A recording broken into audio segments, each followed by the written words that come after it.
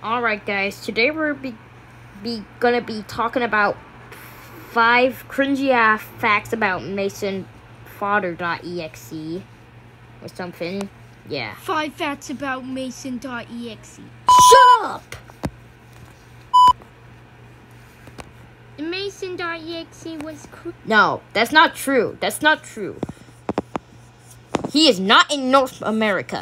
You are in hell right now. I mean, yeah, you are kind of in hell because you're a feetless 2020 fodder. You are totally.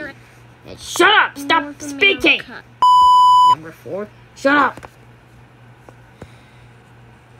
Mm, Are you serious?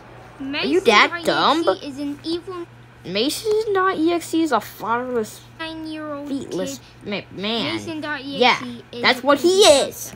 He is a feetless man. Mason.exe Mason.exe is the. No, he is not. is a Stop. that's from Creepypasta. Who What have what kind of 4.5 feet. monstrosity you just made? For some reason, it's kind of cringe. Number two, Mason.exe. No, he doesn't. Mason.exe oh Scientists has infinity Don't believe it. because scientists believed it.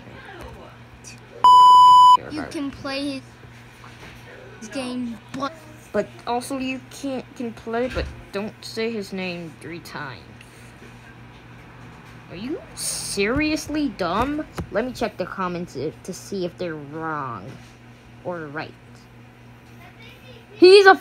Yes, you're right. You're right. You're right. Yes.